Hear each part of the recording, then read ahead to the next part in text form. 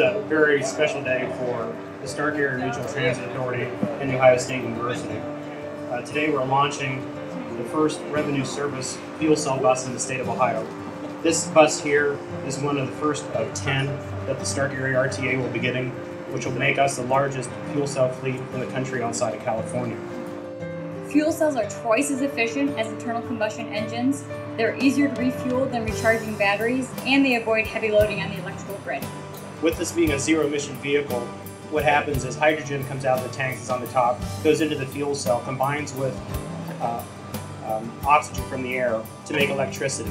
The only thing that actually comes out of the bus is water itself. This zero emission fuel bus uh, in particular demonstrate the commitment um, for cleaner air and better transit experience for riders.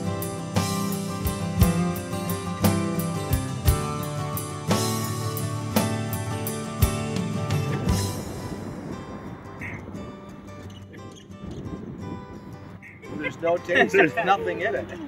No face, thank God.